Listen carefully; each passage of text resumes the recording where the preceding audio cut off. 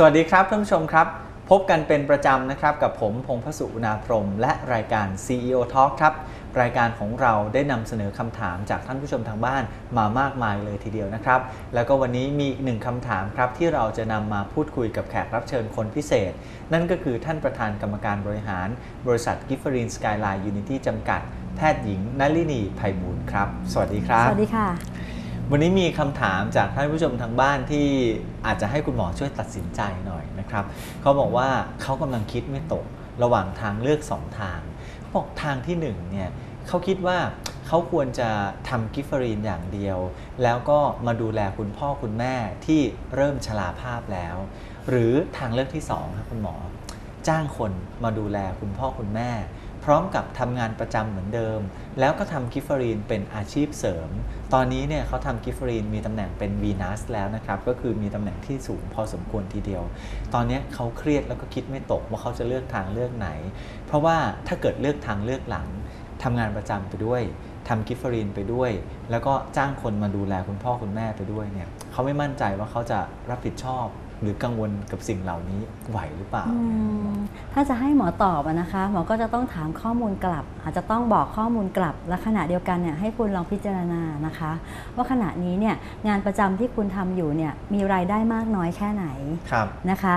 ถ้ามีรายได้ที่มากมาก ๆ เลยเนี่ย อันนี้ก็ต้องพิจารณาว่ามันคุ้มหรือเปล่าที่จะทิ้งไปอ่าอันนี้ต้องเอามาเป็นจริองงไหมค์ประกอบในการนะคะตัดสินใจ ข้อที่2เนี่ยขณะนี้รายได้ของคุณในกิฟเฟอรีเนี่ยโดยค่าเฉลี่ยมันอยู่ที่เท่าไหร่ครับ นะคะ ถ้าเปิดค่าเฉลี่ยเนี่ยมันมากจริงๆละและเครือข่ายของคุณคุณก็มองเห็นโอกาสและศักยภาพที่จะเติบโต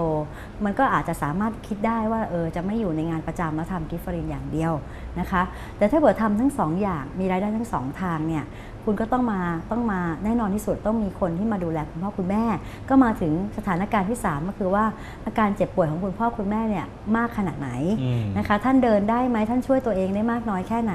ครับแต่ถ้าเกิดท่านเดินไม่ได้เลย ท่านช่วยตัวเองไม่ได้เลยเนี่ยการจ้างคนมาดูแลเนี่ยก็จะเป็นค่าใช้จ่ายที่สูงครับตัวคุณเองคุณก็ละล้าละลังนะคะเพราะฉะนั้นเนี่ยเวลาเนี้ยคุณมีงาน 3 อย่างแต่มีรายได้ 2 ทางอืมนะคะคุณก็ต้องเลือกว่าคุณจะทำเอ่ออย่างไรให้เหมาะสม รายได้เนี่ยถ้าเปิดดึงไว้ทั้งสองอย่างเนี่ยจะทำให้เราไหวไหม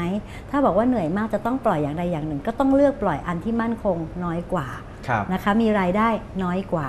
นะคะเพราะฉะนั้นอันนี้อยู่ที่การตัดสินใจจากเงื่อนไขที่บอกมาทั้งหมดค่ะอืมองค์ประกอบเนี่ยก็คงจะต้องเอารายได้มาคำนวณกันใช่ด้วยค่ะนะว่า เราจะจะอยู่ได้มากน้อยแค่ไหนนะครับโดยเฉพาะค่ะอย่างยิ่งถ้าจะทิ้งงานประจำเนี่ยก็ขึ้นอยู่กับว่าเอ๊ะมันสูญเสียรายได้ตรงนั้นเนี่ยแล้วพอมาทำกิฟเฟอรีนคุณก็ต้องหาเวลาในการที่จะเพิ่มหรือชดเชยรายได้แต่ถ้างานตประจำเป็นราชการก็คือครับมีความมั่นคงค่อนข้างสูงครับนะคะ แล้วก็ ดูแล้วมีบำนาญหรือยังนะคะอืมถ้างานประจำก็มีความมั่นคงค่อนข้างสูง ตอนกลางวันคุณก็ไม่ได้เหนื่อยยากอะไร ก็ไม่น่าที่จะลาออก ครับใช่ไหมคะสามารถทำคู่กันได้ใช่ค่ะและแล้วก็โดยโดยโดยเฉพาะในกิฟฟารีนเองเนี่ยเรียกว่าเกินครึ่งหนึ่งที่ยังใช่ทำงานประจำอยู่นะใช่ครับค่ะ ใช้เวลาตอนเที่ยงถึงบ่ายโมงทำงานโดยใช้ social network ก็ได้โทรศัพท์ก็ได้ครับและเย็นๆก็แบ่งเวลามา คุณก็เก็บไว้ได้ทั้งสองงานครับเขาเมื่อกี้ทิ้งท้ายว่าเขากังวลว่าไหนจะต้องดูแลเครือข่ายด้วย ไหนจะต้องงานประจำด้วยเนี่ยจะเครียดไหมเนี่ยเอาเข้าจริงๆแล้วไม่เครียดเลยนะครับคุณหมอ